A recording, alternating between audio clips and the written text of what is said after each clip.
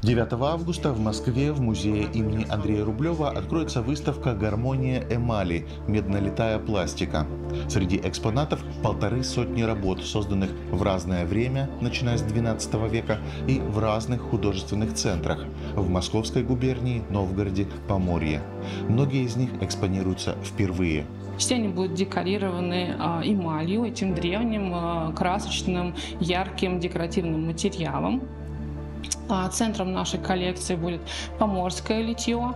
А Самые ранние предметы, самые э, ценные для нас, может быть, потому что они самые древние, это кресты инкалпионы, а, это кресты реликварии, в которых внутри, в углублениях створок, хранились мощи святых или иные христианские реликвии.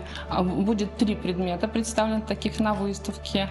Все они э, декорированы в технике перегородчатой эмали, и это одна из самых сложных по выполнению техник. Мастер э, при помощи предварительно нанесенного рисунка наносит такие тоненькие пластинки не толще одного миллиметра, на ребро напаивает, создавая а, большое количество ячеечек. Каждая ячейка заполняется со своим цветом эмали и позволяет мастеру создать э, сложные, э, яркие, красочные орнаменты. Среди экспонатов и редкая подписанная икона Богоматери Смоленской. На ее авторство указывает буква «З», что значит «заведение», а выполнена работа в московской мастерской Сергея Соколова.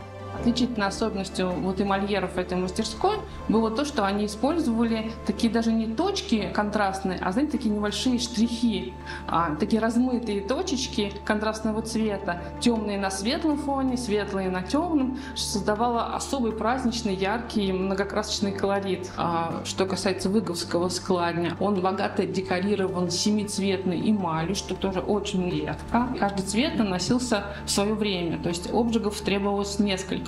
То есть есть тугоплавкие эмали наносились в первую очередь, менее в последнюю очередь.